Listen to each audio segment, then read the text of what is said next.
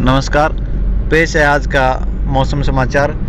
कृषि मौसम विज्ञान विभाग एच द्वारा मौसम पूर्वानुमान पूर्वानुमान सूचना जारी की गई है, जिसमें बताया गया है कि अगले तीन घंटों में हरियाणा प्रदेश के कई जिलों में बारिश होने की संभावना है। अगले तीन घंटों में हरियाणा के हिसार, भिवानी जज्जर चरखी दादरी जींद, रोहतक जिलों में व इसके आसपास के क्षेत्रों में तेज हवाओं व गरज चमक के साथ कहीं कहीं हल्की बारिश होने की संभावना जताई गई है। धन्यवाद।